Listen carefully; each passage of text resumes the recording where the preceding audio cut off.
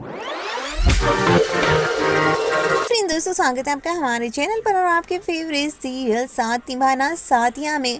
अब कनक के साथ होने वाला है बहुत ही बड़ा धोखा। जी हाँ दोस्तों गहना ने जो भी जुल्म सहे हो, लेकिन घर वालों को तो घर के अंदर ले आई है ताकि वो कनक पर नज़र रख सके।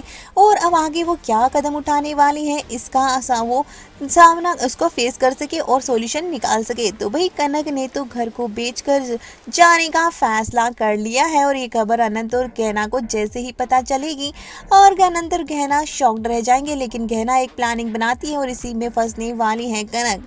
ये प्रॉपर्टी खरीदने के बहाने उसको नकली नोट थमा कर ये प्रॉपर्टी तो अपने नाम हो जाएगी और गहना बेहद बुरी तरह से यहाँ पर कनक की हार होने वाली है।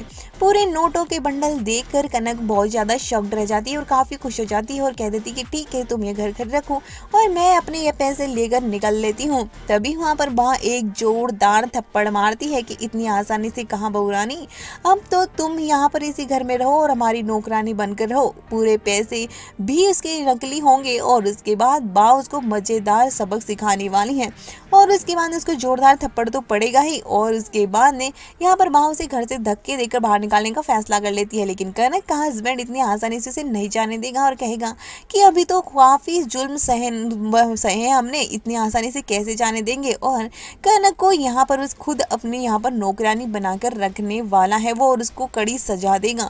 तो काफ़ी इंटरेस्टिंग स्टोरी होने वाली है। अब देखना है कि कितनी जल्दी अब गहना उस कनक को अपने जाल में फंसाती है और ये घर बापूजी और बा के नाम करवाती है। तो पूरा इंटरेस्टिंग ड्रामा शुरू हो चुका है और इसी ड्रामे में फंसकर कनक सब कुछ खो देने वाली है और ओवर कॉन्फिडेंस के चक्कर में वो इन पेपर्स पर भी साइन कर देगी और घर भी जाएगा और पैसे भी नहीं मिलने वाले हैं।